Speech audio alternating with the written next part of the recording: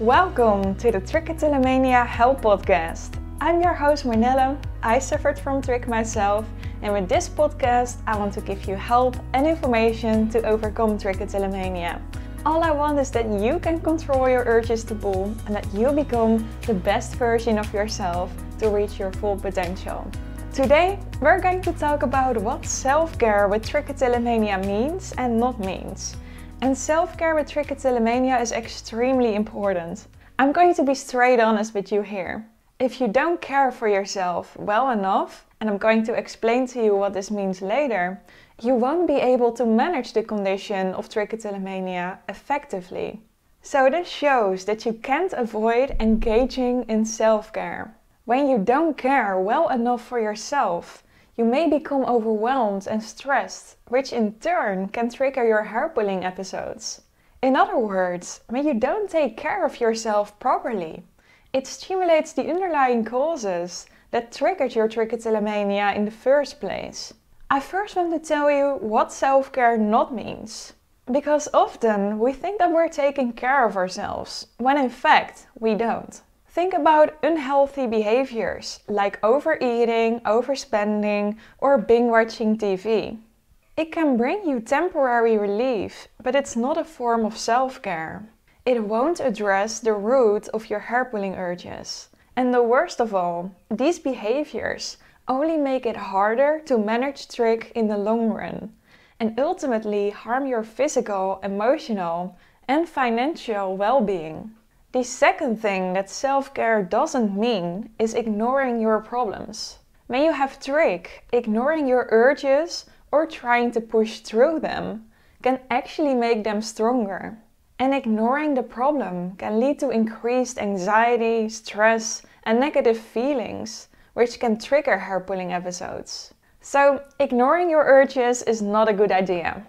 The third thing that often goes wrong with self care and trichotillomania is that self care is not a regular part of the routine. So, for example, you only treat yourself on special occasions. And does this make sense as trichotillomania is a chronic condition? It doesn't. Trich needs ongoing care and attention, not just occasional treats. The fourth thing that is not self care is neglecting your physical health. Maybe you feel like you should prioritize your emotional or mental health over your physical health. But in order to stay healthy, it's important to balance them all. Think about all the worst results that can come from neglecting your physical health. No one wants to have obesity or heart disease. And this, of course, only leads to more stress and anxiety. The fifth one is that you should avoid copying other self care routines. The way people experience trichotillomania is different for everyone. It's highly individualized. So, the more important it is to find self care practices that work for you personally. Don't just copy someone else's routine without considering your own needs and preferences, as this may not be effective in managing your trichotillomania. Now, what does self care truly mean? It means that you care for yourself physically, emotionally, and mentally.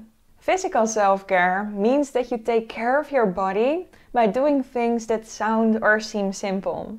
And it's so true that what's easy to do is also easy not to do. How often do we fall for the trap of staying up too late? Or making unhealthy food choices? Or not taking the time for ourselves to truly relax? Embracing your physical health means changing these, what seem to be simple, things. But they are incredibly important. By getting enough sleep, and scientists recommend around 8 hours of sleep for adults, and at least 30 minutes a day of exercise, you can highly decrease stress levels and make it easier to resist hair pulling urges. Physical self care also means staying clean and fresh. Brushing your teeth, for example, is very important for good brain health, as there are potential indirect connections between oral health and brain health. So, little side note if you want to take care for your brain, care for your teeth. Also, go to the doctor when you need to.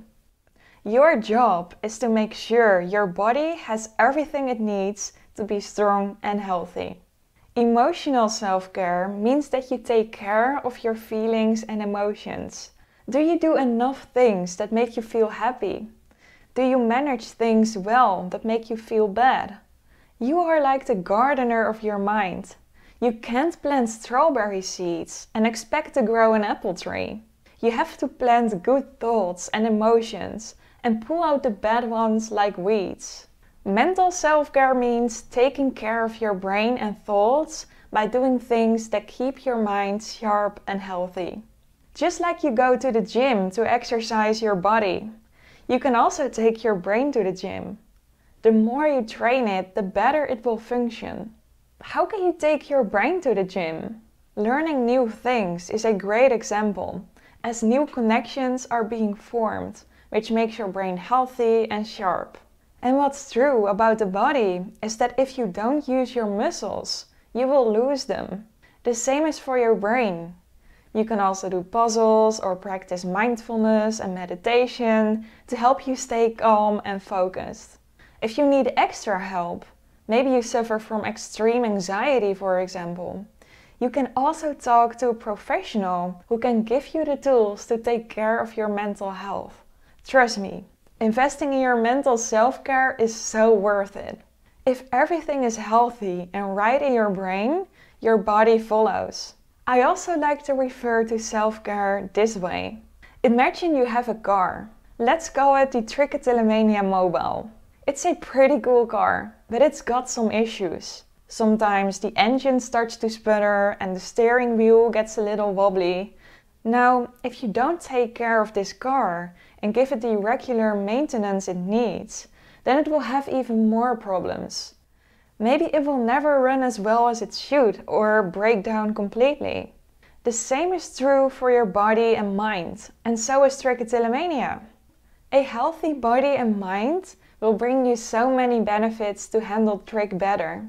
If you don't practice self care and eat well, exercise, get enough sleep, take care of your mental health, and seek support when you need it, then your trichotillomania is going to be even harder to manage. It's like trying to drive a car with a lot of problems. There's no way it can go as smoothly as you would like to. So, if you want to be able to manage your trichotillomania effectively, you need to take care of yourself. Just like you need to give your car regular tune ups, you need to give your body and mind regular check ins. And there's nothing wrong with spoiling yourself. It's also nice to give your car some sweet rims or a fancy sound system, right? Have some fun with your self care routine and activities. Treat yourself to a bubble bath, a new book, try out a new hobby, practice learning meditation, which is proven to have huge benefits for anxiety, stress, and overall well being. Or learn other great healthy activities. Whatever it is, just make sure it's something that makes you feel good and helps you take care of yourself. So, self care works as a great stress management strategy. And when you have trichotillomania, you will need this the most. Because without this, your hair pulling urges can become too difficult to resist.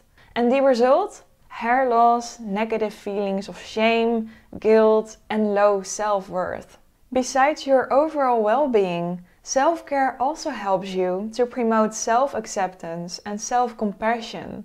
With self acceptance, you fully accept yourself as you are, including your flaws and imperfections. You acknowledge and embrace your strengths and weaknesses, and treat yourself with kindness and understanding. That's what self acceptance is. Self compassion means treating yourself with the same kindness concern, and support you would offer to a good friend. Why would you not treat yourself the same way as someone you love? It makes no sense, right? So, both self compassion and acceptance are important aspects of self care and help you promote overall well being. You have to fill your own cup first. I like to say that it's not selfish, it's selfless. It's necessary for your physical, mental, and emotional health. When you prioritize self care, you're better able to take care of others as well and fulfill your own responsibilities in a healthy and sustainable way. And never forget, it will help you massively to overcome trichotillomania and live with your condition without being significantly impacted by it every single day. So that was it for today's episode. If you want to get more help and tips to overcome trichotillomania, then make sure to follow this podcast. If you are looking for a complete toolkit to finally stop pulling your hair, then you can sign up for my program to overcome trichotillomania. It will be live soon. Share this podcast with others in the community to help me create awareness and reach more people. I wish you much strength on your journey and I hope you have an amazing day.